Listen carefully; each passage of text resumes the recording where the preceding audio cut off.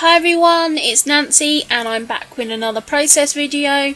Again, I apologise for my voice. Um, so this layout um, is just about an evening out that me and my boyfriend had a few weeks ago. It was probably last month now.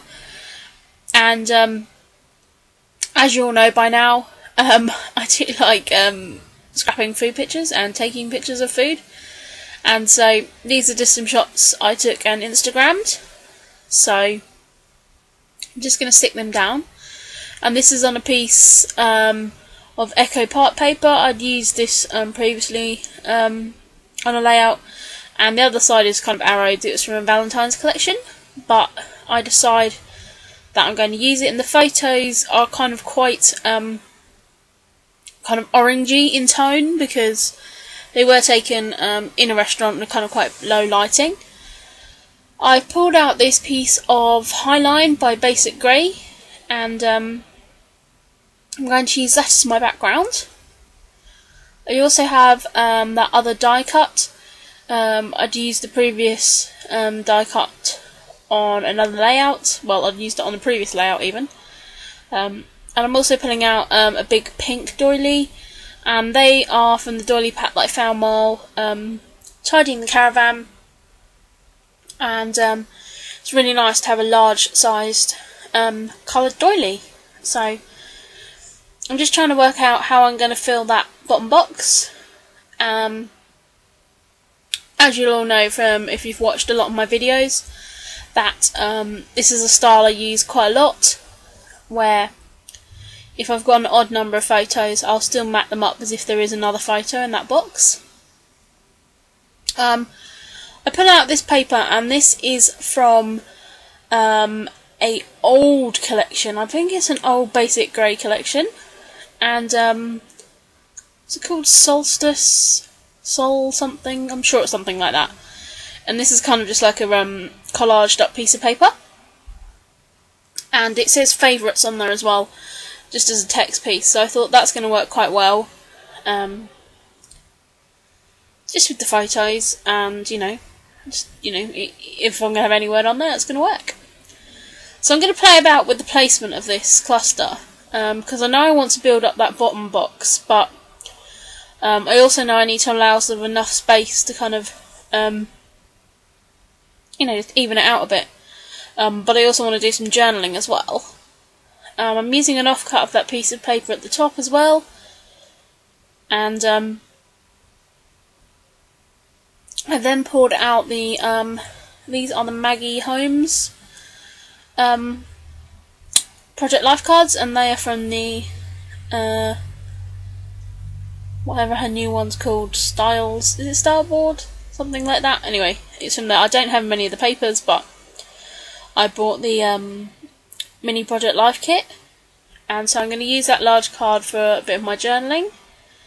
I also pull out this um, other card which has um, a masonry, mason, masonry, that's what you build buildings with, a mason jar on, um, because actually the drink I had that night was um, a blended sort of mixed drink of whiskey and rum and random other stuff, um, but it came in a little um, like jam jar with a handle, so I kind of thought that went quite well. So I also pulled out that piece of Dear Lizzie paper from the Lucky Charm collection because I thought, you know, it's a perfect opportunity to actually use those up because, um, you know, I don't do kind of many stuff with that kind of thing on. So I'm just adding some black mist onto this paper because I know um, roughly where my pictures are going to go. So of course I'm going to want to add some texture and I'm also using the fuchsia pink. Again these are kind of my go-to mists at the moment.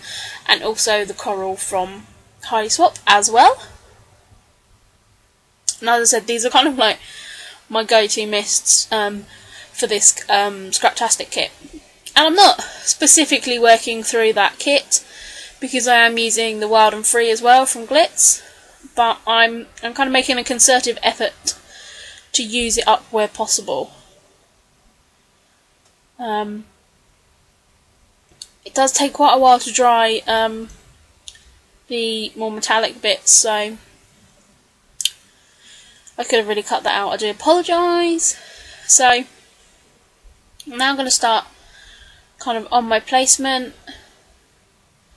And I'm just using um, my wet glue to stick down the doilies and that. And then I'm just going to use my ATG, but again, I um, gonna kind of fiddle around a little bit. So I do apologise, I'm really congested tonight.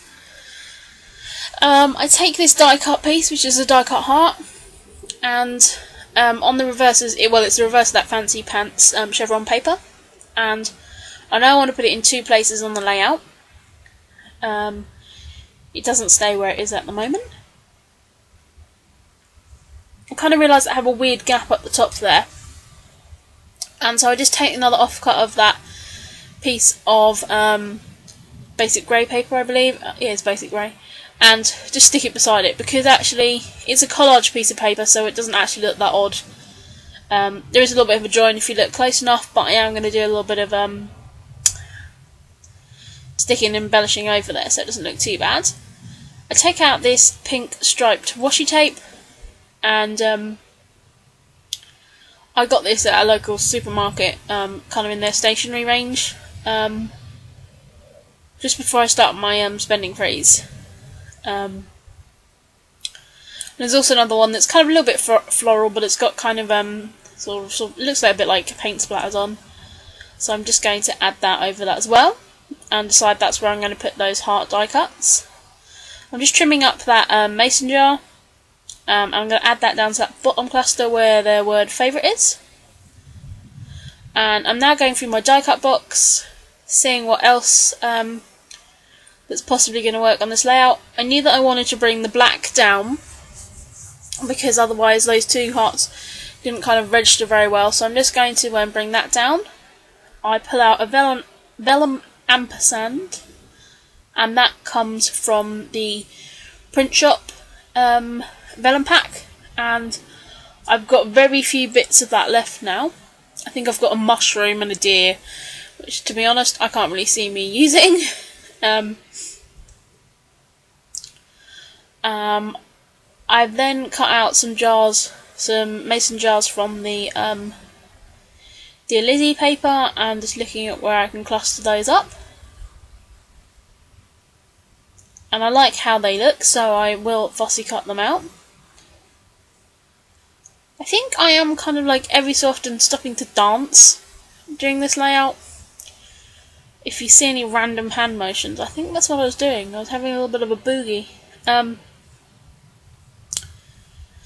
this was um, scrapped on the same day that I um, used the life acetate, so maybe I was still on a high from that. So I'm just um, fussy cutting those little jars out and they're going to um, just cover the top of that photo, which I'm not too worried about, but they're also going to cover that join in the paper.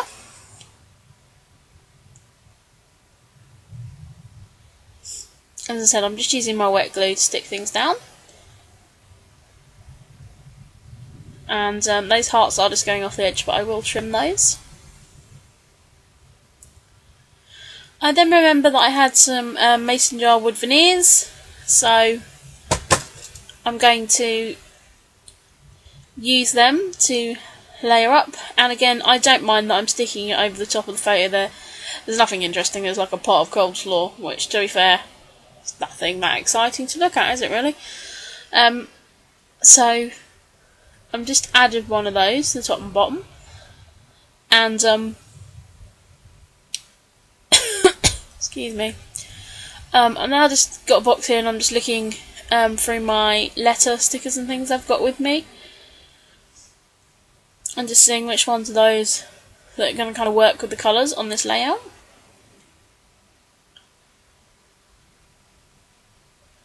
Um, I also um, pull out that snap thing, but that doesn't um, sticker set doesn't end up on here. I decide that I want to um, Bring that black up to the top as well, which to be fair, doesn't really add much, but it doesn't really subtract anything either. So I did contemplate putting a couple of sleeves on here, but I don't. Um, I'm now going to pull out the Highline die cut pack and just go through that and see if any of that's going to go on this page.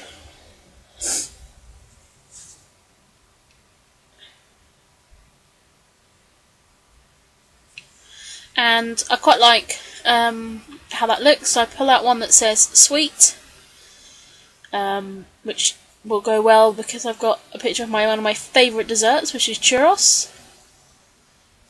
And then this one that says right now, because I'm just going to journal about how um, it was just kind of an ordinary weekend night, um, but my boyfriend decided to take me out for dinner, so that was quite nice.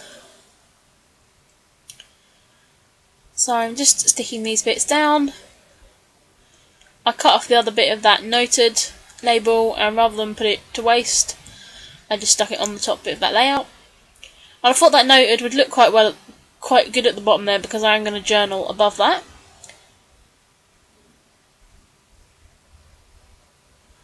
Just moving some bits around and that arrow came off. That's um, a transparency um, arrow, and I thought it just went quite well laid above that favourite because that's quite a um, collage piece anyway. So um, putting that on there, you know, just kind of adds to the layer. I'm then taking some little arrowhead bits, which are from the Wild and Free sticker sheet, and um, having them point um, towards um, the lovely whiskey based drink that I was drinking. Um, I have three of these cork hearts left um, from the DIY shop.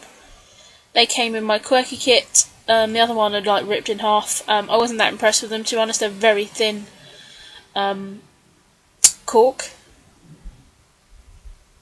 But again, it adds another texture because I've got kind of like um, vellum transparencies, wood, cork, you know, and I kind of quite like that. It's kind of quite a busy layout anyway. Um, excuse me. So now I'm going to look at adding um, my title on, and um, my title is um, um, a mighty um, Chiquito's feast um, with the subtitle "But But No Hat." Basically, Chiquito's is like a Mexican restaurant um, even though kind of the food I didn't have Mexican that night, but um, if you ordered a certain dish, you got like a um sombrero kind of hat to wear, you know, which is you know a bit of casual race racist stereotyping there, I suppose. Um, but we were kind of laughing because certain people were sitting at their table with big old hats on, and um, yeah, it was a little bit odd. Um, but we kind of laughed that we weren't quite sure on the menu what you ordered to get a hat or if you just asked for a hat. Because um, we hadn't actually been to this um, place before. So, um, that is just kind of it. I just, you know, I just thought it'd be funny because I'm going to talk about that in the journaling as well. And I'm just using those um, October afternoon um, daily flash stickers. There is a plane going over. I don't know if you can hear it. If you can hear it, that's a plane. If not, I just sound like a loon telling you what's out my window. And yet again, it's like a Sunday afternoon, and there's a plane flying over at 20 to 8. It's ridiculous. I don't know what is. I don't know what's going on with the planes around here. Anyway, I digress. I'm just going to spray some ink on, and then I'm going to cut to some pictures. So thank you very much um, for watching and putting up my um, awful voice and I'll be back with some more process videos soon. Bye!